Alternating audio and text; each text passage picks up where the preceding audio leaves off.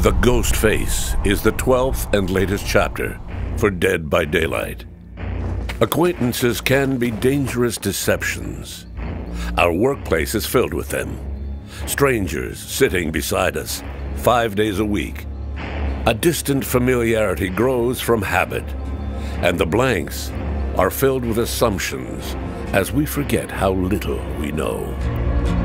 That is, until they prove us wrong. The new killer is called the Ghost Face.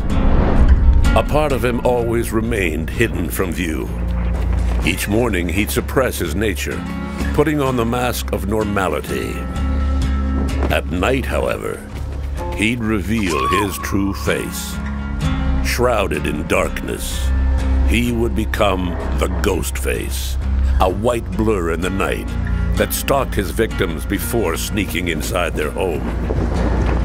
The Ghost Face's power is Night Shroud. While Night Shroud is active, the Ghost Face emits no red stain, and his terror radius shrinks to nil, which allows him to stalk survivors. He goes into stealth mode and stays that way as long as he remains unseen from all survivors. Stalking survivors makes them suffer from the exposed status for a limited time. To stalk more efficiently, the Ghostface can lean around corners and crouch at will. The Ghostface comes with three perks. I'm all ears. When survivors do a rushed action outside your terror radius, their aura is revealed for a limited time. It then goes into cooldown. Thrilling tremors.